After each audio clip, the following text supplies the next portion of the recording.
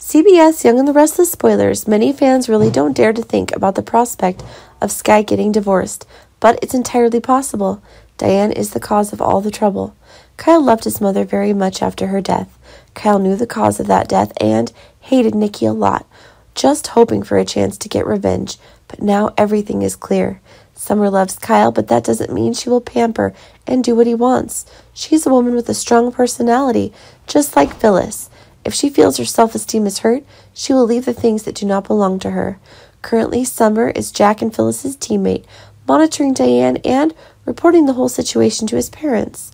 On the other hand, Kyle is the opposite. He's a strong example to protect his mother. No one is allowed to do anything, he declared to such enemies. Summer is working hard to get Diane out of Genoa. What if Kyle finds out? He wouldn't be able to stand the situation. Kyle is too naive.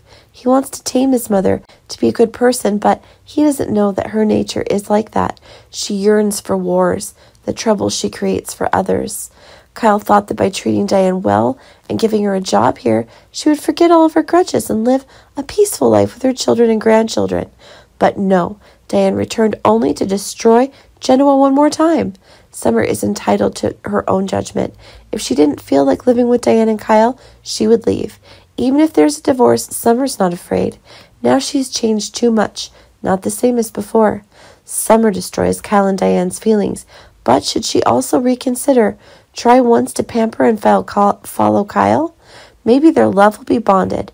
As for the breakup or divorce, Diane will create a storm and then force them to overcome it. Please wait and try.